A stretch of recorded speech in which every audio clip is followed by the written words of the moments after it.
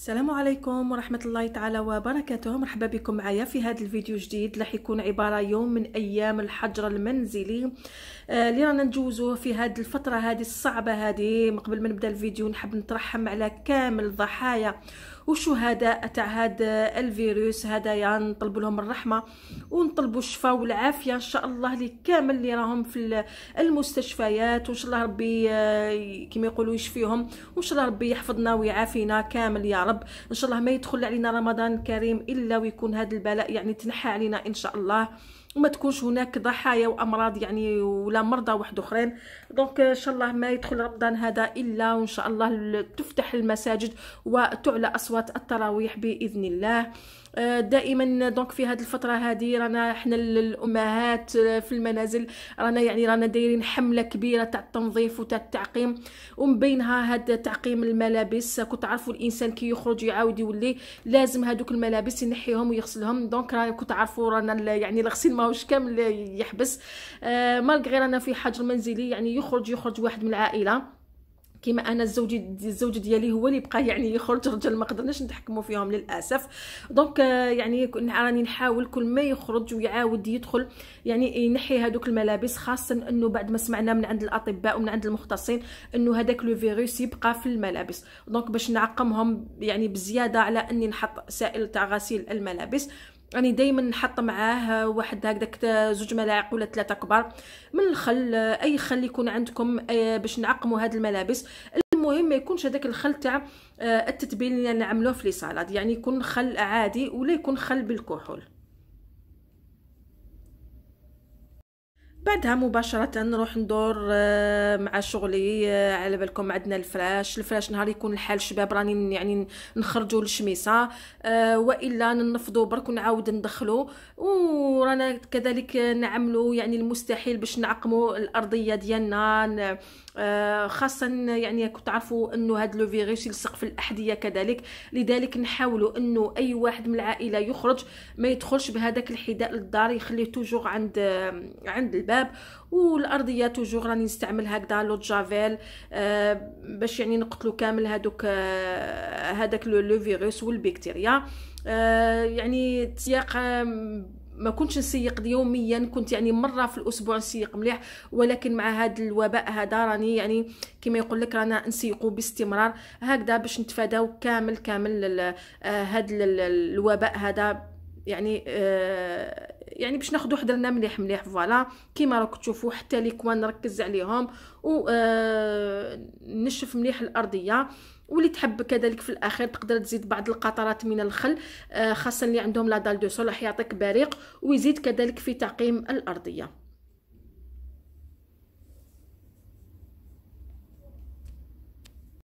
كوجبة غداء نقترح عليكم هذه الوجبة اللي سهلة وسريعة وما فيهاش بزاف الماعن وراهي رايحة تهنيك من الوقفة تاع غسيل تاع الماعن ومن الوقفة تاع تحضير وجبة الغداء هي عبارة على هاد البطاطا بالجلبانة في le donc إذا في التحضير ديالها ناخذ directement le plat اللي يروح le four نحط فيه شوية جلبانة شوية بطاطا يا إما تكون مقطعة هكذا دوائر يا إما أنا كانت عندي هذيك البطاطا الصغيرة غير قشرتها برك بلا ما نقطعها.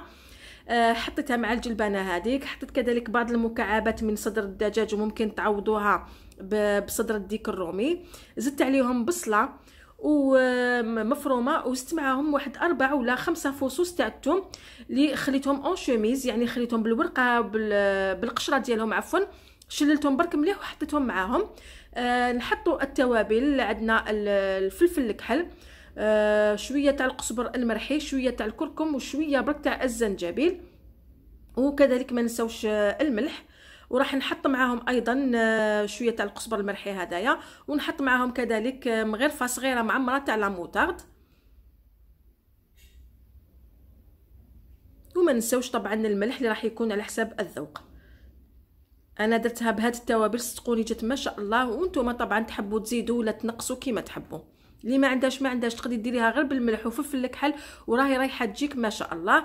ونزيدوا واحد ربعة مغارف ولا خمسة مغارف تاع الزيت. آه هاد بلا يحب يكون شوية ميدم باش يجي باش يجي بنين. ولا ممكن ديري شوية زيت وشوية زبدة. أه تحطي من الفوق هذوك لي نوازات تاع الزبدة من الفوق الدوب راح تجي كذلك بزاف بنينة. ومن بعد نخلطوا كامل هاد المكونات مع بعض. أه حتى يتغلفوا كامل بهذيك التتبيلة هذيك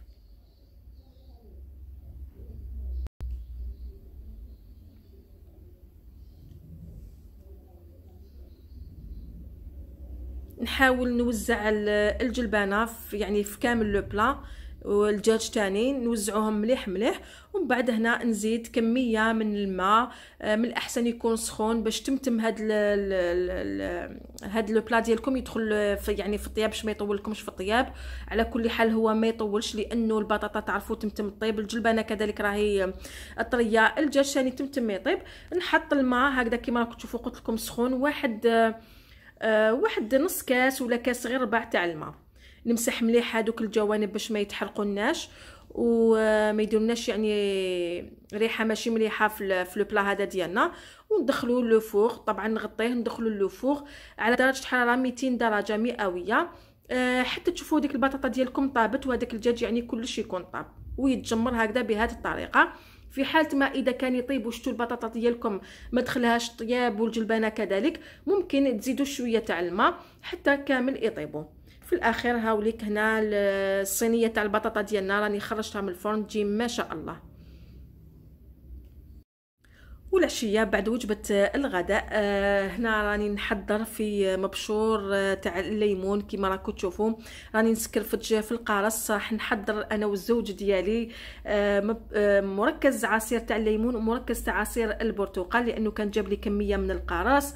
يعني آه صراحة في الأول عجزت عليه ولكن آه، يعني من فوائد الحجر الصحي المنزلي هذا آه، خلى بزاف رجال يدخلوا للمطبخ والزوج ديالي واحد منهم لأنه كان خاطئ كامل كوزينة ما يفرقش بين السكر والملح ولكن يعني استفدنا على الأقل حاجة إحنا الماكثات في البيوت.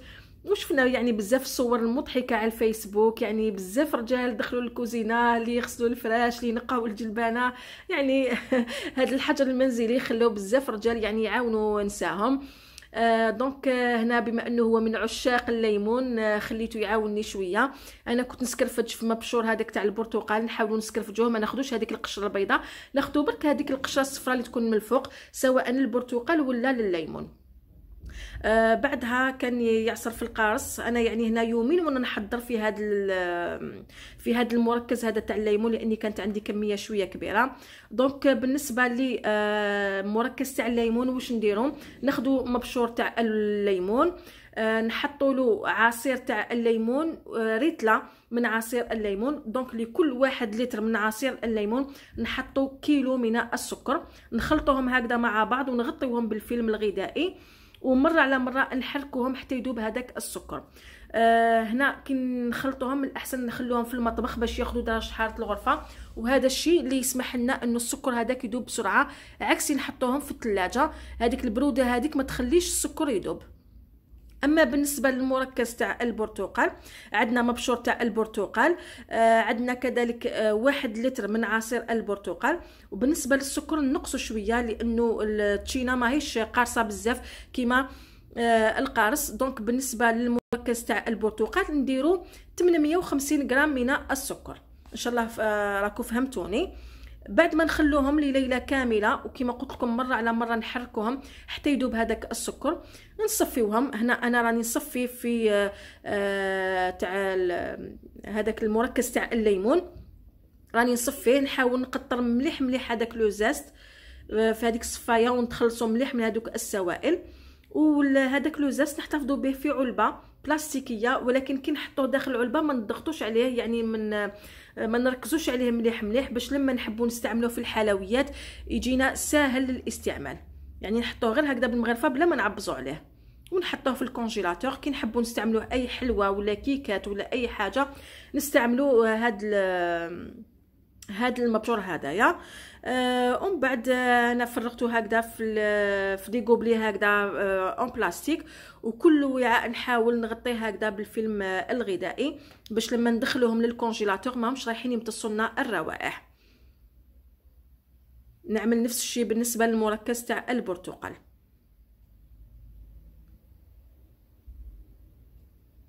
اللي ما عندهاش هذوك لي غوبلي ديرهم هكذا في أكياس بلاستيكية. يعني هذا يعني يجي ما شاء الله يجي هايل. آه إذا كان ربي عطانا الصحة وطول العمر في شهر رمضان الكريم الإنسان يعني يتفادى كامل هذوك المشروبات الغازية والعصائر الاصطناعية. نديروا حاجة هكذا في الدار. آه ودرت كذلك كما راكم تشوفوا هنايا بعض الشرائح ولا les tranches تاع القارص كذلك. هادو ما آه، قطعتهم هكذا شرائح ونحطهم آه، في كيس يعني خاص بالتجميد ونحطهم في ال congélateur.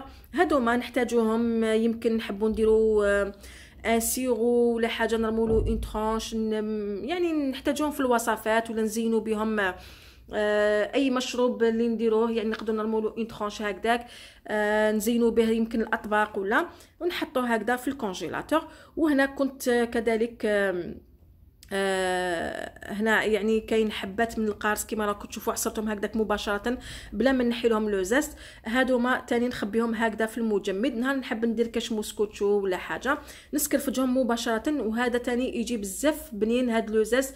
يعني صدقوني يجي كأنه درتيه قارص يعني طازج ماهوش كونجولي. وبالنسبة ل هنا عندي حبة تاع القارص كبار يعني شهوا ما شاء الله عجبوني بزاف. هادو تاني نضفتهم مليح مليح ودرت لهم قطرة تاع الخل في الماء هذاك اللي غسلتهم مليح نشفهم جيدا. ومن بعد كل حبة تاع القارص هكذا ندورها ولا نغلفها مليح مليح في لو بابي ألومنيوم واحد زوج مرات ونحطوهم هكذا في الثلاجه يعني هاد الطريقة هذه تخلي القارص ديالنا يشد لنا لمدة طويلة. آه واحد 3 شهور 4 شهور يبقى هكذا محافظ على آه يعني على القوام ديالو. ما يخسرش. آه فقط نحاولوا نخيروا حبات تاع قارص يكونوا شابين يكونوا جدد يكونوا ماشي متوشين. هكذا باش يشدوا لنا هنا يعني لازم تردوا بالكم مليح مليح.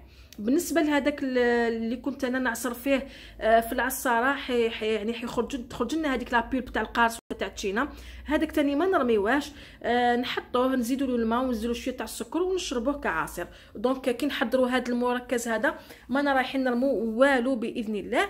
وهكذا في شهر رمضان الكريم ولا حتى في هذه الأيام هذه نحاولوا يعني نشربوا هكذا أشياء تكون منزلية آه خالية من أي مواد محافظة. ولا مواد حافظة. آه دونك حنا مالغري رانا في كما يقولوا في ظروف صعبة جدا ولكن نحاولوا دائما نعيشوا حياتنا آه يعني عادي يعني ما ندخلوش في هذاك الضغط تاع الوسواس وتاع الاستخاس وتاع لو فيروس هذاك لأنه هذه الأشياء كامل راهي رايحة تهبط لنا من آه من التقوية تاع الجهاز المناعي آه ديالنا نعيشوا حياتنا عادي جدا. ومن بين الأشياء كذلك راني نحاول نداوم عليها في الأسرة ديالي أني كل العشية في الليل بعد وجبة العشاء ندير لهم هكذا une tisane أي تيزانه يعني كل مرة نبدل لهم. آه، كما راكم تشوفوا هما درت لهم آه، يعني تيزانه خاصة بهم وأنا درت la tisane ديالي في الكاس ديالي وحده. آه، تاع الكولون منها يعني نشربوا حاجة سخونة ومنها كذلك نهدئوا من الجهاز الهضمي ديالنا. آه، يعني نحاولوا قد ما نقدروا نكثروا من هذه السوائل الساخنة لأنها مفيدة جدا. آه، تحت شعار خليك في بيتك بيتك هو حياتك. كان هذا هو الفيديو تاع نهار اليوم. دمتم في رعاية الله وحفظه. والسلام عليكم.